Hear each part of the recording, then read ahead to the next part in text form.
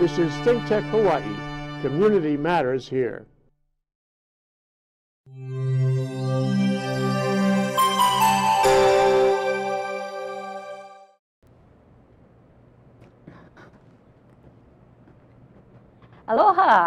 Welcome again Energy Wednesday, our flagship uh, operation here for energy.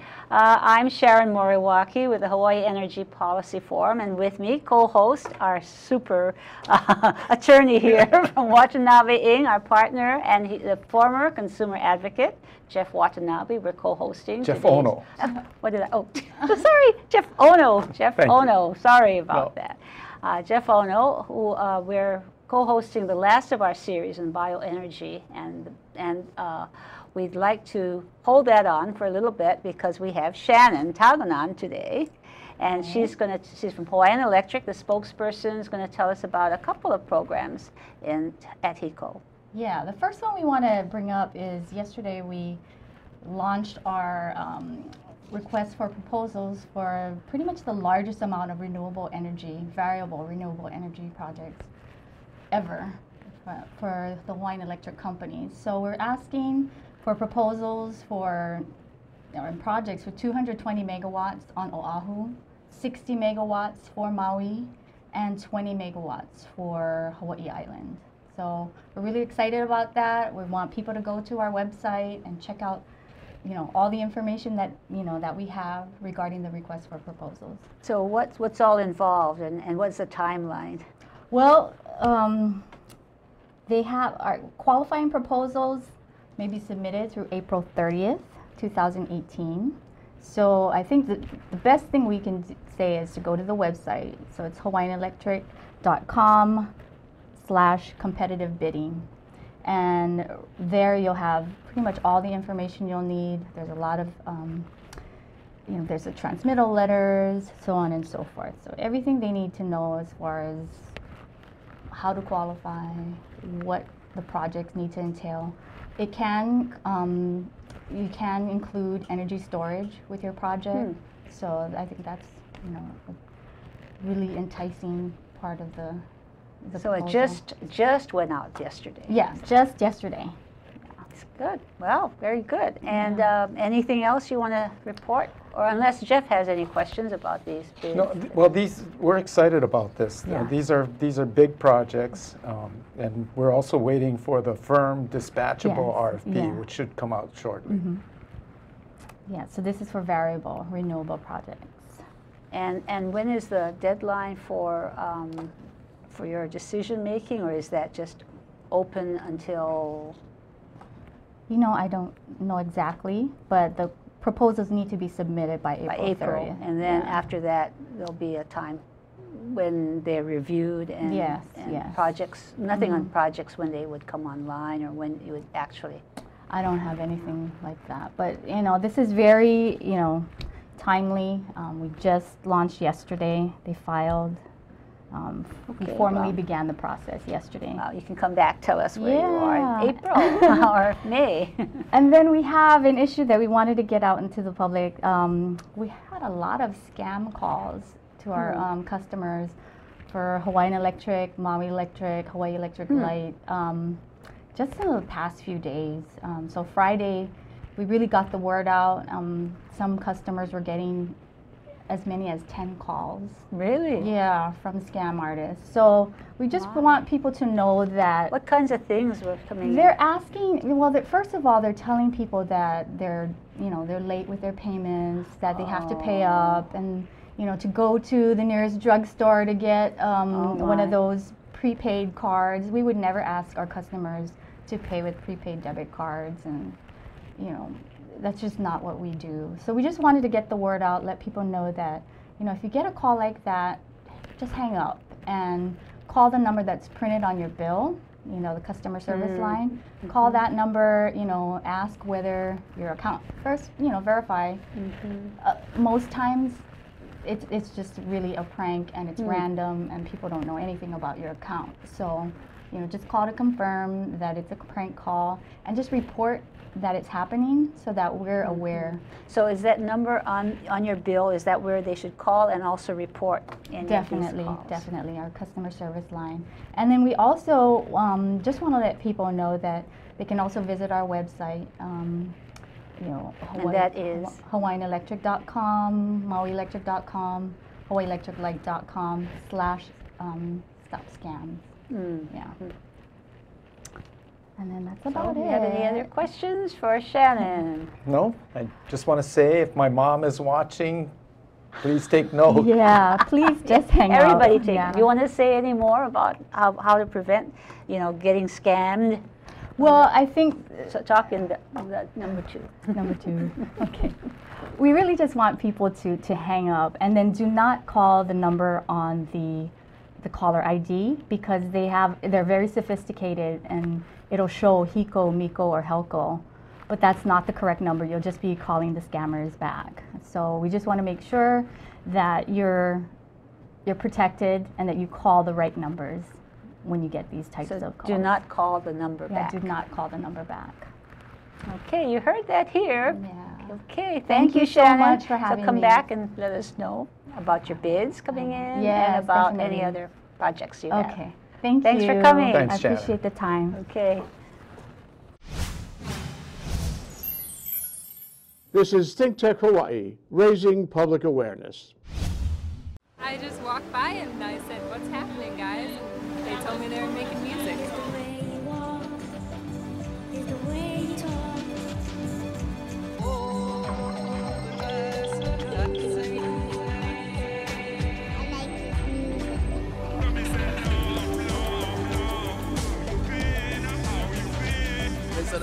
so any chance to play at all.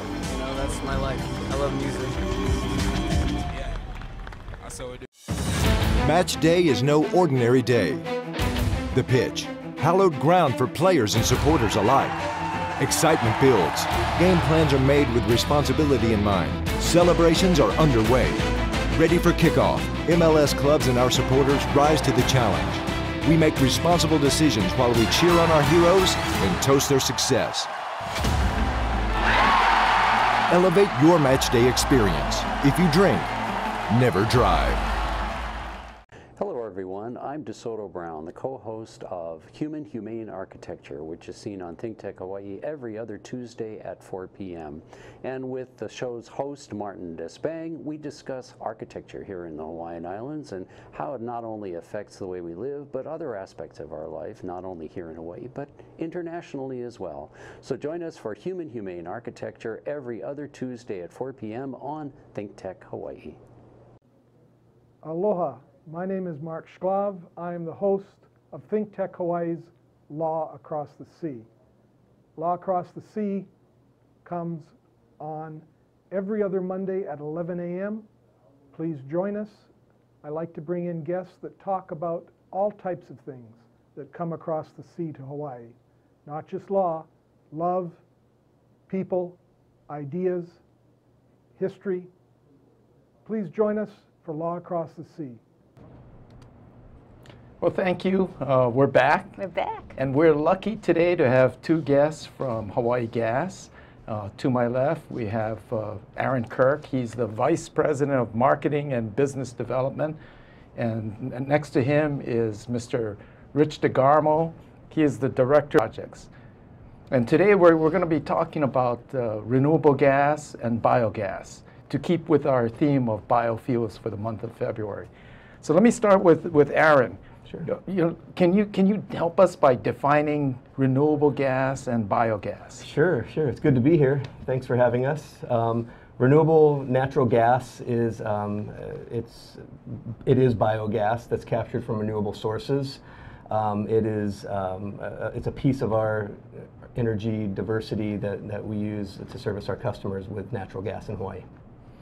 And, and Rich, I understand you're responsible for Hawaii Gas's, you know, first uh, biogas project. Can, can you tell us about that? Right. We have a project going on at Honouliuli wastewater treatment plant where we're going to be taking the biogas from the anaerobic digesters and upgrading it to biomethane, which is about 96% methane, and putting in, injecting that into our pipeline.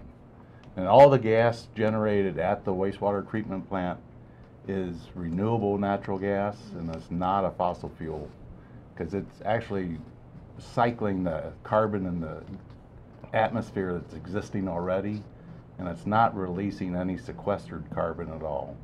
So is that up and running now, or is it in process, or where, where are you in your project? Right now, the equipment is being fabricated. Uh, Ah. We're going to be using membrane systems to separate the carbon dioxide from the methane. Uh, It's being fabricated. We should be up and running by Sep- middle of September of this year. Oh, So previously, the, the waste methane that was produced at the wastewater treatment facility was just flared off. And so we spent the last five years negotiating and um, coming up with the technical solutions to capture uh, the, the waste gas and actually inject it into our pipeline so that we can, we can actually use it instead of it So just when you say being- flare it off, does that mean, like, where did it go? Like, They It just burned, Yep. and you just lost all of, the- all of Yeah, that? so, so the, the wastewater treatment plant produces methane as a byproduct, so they would flare it off uh, just so that the methane is not released into the atmosphere. So flaring it off Oh, um, chemically breaks it apart, so it's no longer So it's methane. not toxic. Yeah, so instead of just flaring it off now, we can actually use, Use it, it. for cooking, for drying clothes, um, for heating water. So, Rich, how much gas are you going to actually be able to, to get from the Honouliuli uh, project? Right now, we're estimating about 800,000 therms per year. And what, what is that in equivalent to, uh, you know, in maybe kilowatt hours, or you know, how how how would you get our our, It our- would, our- the 800,000 therms would replace approximately 12,000 barrels of oil per year. okay? So you're going to you're actually displacing that much oil that you would Hawaii gas would other you otherwise use to make synthetic natural Correct. gas. Oh, that's fantastic. wow. Are, are there other projects like that in, in the works? Uh, on, on the island of Oahu, there are three other places that are producing methane from anaerobic fermentations. Uh, we're looking at trying to acquire those as well. Okay, so wh- where are those those other places? Uh, basically, it's o- other wastewater treatment plants and, and the landfill. I- Is any wastewater treatment plant available to, you know, for this kind of, uh, uh, you know, use by Hawaii Gas? No, not all, not all the wastewater treatment plants have anaerobic digestion. Some are aerobic processes. So basically, only the anaerobic digestion uh, facilities would So- produce the So what are, what are, can you differentiate the anaerobic and aer- aerobic? Anaerobic is basically being processed without oxygen. Okay. So it's sort of an alien environment for us. It produces the methane, it produces the hydrogen sulfide, it produces other gases that we don't really care about. So you can't just screen it out or do anything with it? You, you're just, you just don't use it? Well, you, the biogas you can use. Uh, they have actually made engines that can run directly off of it, Hmm. but you still have to clean the other con- Hmm. contaminants out of it. So Hawaii Gas is interested in capturing all of the available renewable natural gas in the state, and we're actively pursuing all usable renewable natural gas Hmm. currently. Tell us a little about uh, landfill gas. How, how would you capture landfill gas? Is it the same as wastewater treatment It's, gas? it's similar. Basically, in the land, capped landfills, it's an anaerobic environment as well, and they produce the methane gases. And what they what they're doing now is they actually drill wells down into the uh, landfill itself, and then vent the gases up, and those are now being flared as well. So is that technology available so that you could capture methane from Waimanalo, the Waimanalo dump? Yes, it is. It, it, it Oh. would take a, it's a little bit more pre-processing to take some of the, there's other contaminants in it that we would need to remove, but it's just additional processing. So would that eliminate our landfills? I mean, that's one of the biggest problems in the state, and we don't have much land, and, and it's filled with landfill, I mean, you know, all the waste. And if you did use your process, would that somehow detoxify or the, the whatever is there and, and use all that energy? Or, what- I mean, what can you do to reduce the landfill, landfill? Know, there, if we go into source separation and things like that, where we can separate out the organics, and then uh-huh. you could actually process those in an anaerobic digester. But as far as the landfill itself, that's going to stay there. Uh, it's not optimum conditions in the landfill to produce the methane. Mm. They want to keep it dry rather than wet. But what we can do is we can capture the methane that's already being produced, and uh, we can actually, instead of them flaring it off or it getting type use of it. accidental release into the atmosphere, we can actually use it to, produ- to produce energy. Wow, that's good. Well, how many years out are we bef- uh, from capturing all of the, the methane from uh, wastewater treatment plants on Oahu and uh, from uh, Landfill, Waimanalo? Yeah. We're ready to go as soon as the owners of the biogas will let us. Okay. Yeah, it, took, it was a long process getting Honouliuli, um, and that took what, about five years. And so we're in process with the others, and we're, we're actively pursuing them, and uh, we, we're ready so to what go. Was, what was the biggest challenge in getting the landfill owners like Honolulu, Honolulu to uh, to c- come on board and, and have you know this kind of mo- as a model to do other places? I, I think it's just a process. We're, we're the first in the state to, to be uh, purchasing it and using it for energy production. So it, it's just it's a process that has to be gone through. And um, you know there was an RFP put out, and we had to put in our bid, and um, it just it, it, things take time. And, and then have a PUC approval for the uh, power or the fuel pur- purchase agreement. Well, and Can you tell me about, um, you know, you, you're, you're capturing this methane and it, it's, it's going to be flared off. So why isn't the city just giving you the gas? Are they selling you the gas? Yes. But why aren't they just giving it to you? it's going to be wasted. We're open. yeah, we're open to receiving the gas if they're willing to give it to us.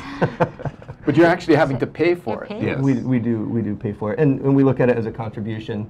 Um, yeah, it's going to a good cause. Obviously, it's uh, you know Run the city. i- i- when when when you uh, when you you pay for it, at least you you're contributing to the uh, you- you're buying the resource. and you're producing and paying. that sounds like an interesting deal. Aaron, are there other sources of renewable gas that Hawaii Gas is really looking into? Yes, we're actually uh, we're, we're starting. We, we've looked at many different uh, options. Um, in fact, uh, I'll let Rich talk a little bit about um, uh, some of the previous ones. Right now, we're looking into biocrops. So there are several crops that can be grown. They can be harvested three and sometimes four times a year uh, without being picked. You just you just cut them. You run the, the crops through an anaerobic digester, and uh, it actually makes methane. So we're actively pursuing uh, land right now to grow those crops to, to make true renewable natural gas. Is, is that technology um, at commercial operation type scale? It, it is not here in Hawaii. We'll be the first to, to operate here in Hawaii at a, at a commercial scale, but um, across the country and other parts of the world, it is being used. Oh, that's fantastic. It's large scale in Europe. Okay. so what does your equipment look like? The thing that you're bringing in with the membranes and all of that. What? What? what- Beautiful. you didn't bring a picture. what, what- ba- basically, what- it's going to be a 40-foot ISO container, so it's all self-contained, s- co- so- like a Yeah. big tank. uh, con- uh, like a shipping container. Oh. And then there will be a couple external vessels for the activated carbon cleanup and some refrigeration and heat exchange. So like how big is? I mean, how much space? How much land is? It will take up the footprint of two 40-foot ISO containers. It's not that large, less than 2,000 square feet. And where is it going to be placed? It's going to be placed pretty close to where the anaerobic digesters are at Honouliuli. Oh, okay. Now, another thing we keep hearing about is hydrogen and, uh, you know, hydrogen being used in fuel cells. Yeah, and I know that the, the processing for the synthetic natural gas produces hydrogen. Are you able to capture that hydrogen and, and effectively use it in, in fuel cells? Yes, a- actually, what we do right now is we capture and uh, utilize more hydrogen than any other utility in the world. Correct me if I'm wrong, Rich. That way you have the highest concentration of hydrogen in our pipeline than any utility. Yep. So we actually we actually capture the hydrogen, and it, it's part of it's part of our pipeline gas in a higher concentration than any other gas utility. Well, are you, are you able to store it and then um, use it in, in fuel cell vehicles, for example? We could use a, we could capture a very small amount here in Hawaii. We did, we did a, a pilot project several years ago and spent a considerable amount of resources researching hydrogen. And hydrogen's a great fuel, uh, and and we will continue to look at it, uh, but it's very expensive uh, to produce. Um, most of the hydrogen on the mainland is produced from fossil fuels right now, which Right. would defeat the purpose. So, um, w- looking at uh, producing hydrogen uh, in, in other cleaner methods is very expensive and would bring costs up by about 10 times. So, uh, that, that obviously made us abandon the pilot. Hmm, hmm.